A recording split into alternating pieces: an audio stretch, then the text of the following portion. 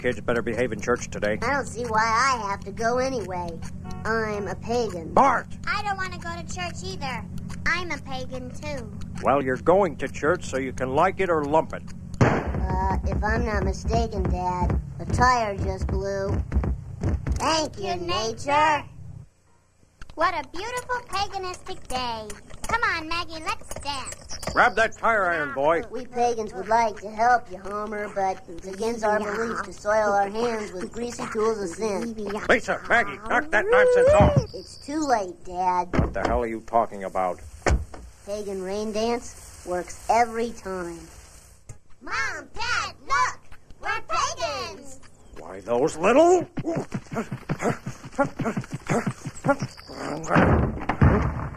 Ironically enough, Bart, this house of worship has proven to be our sanctuary. Yes, but still my pagan soul yearns to roam free. No problem. After the sermon, we'll make a run for it.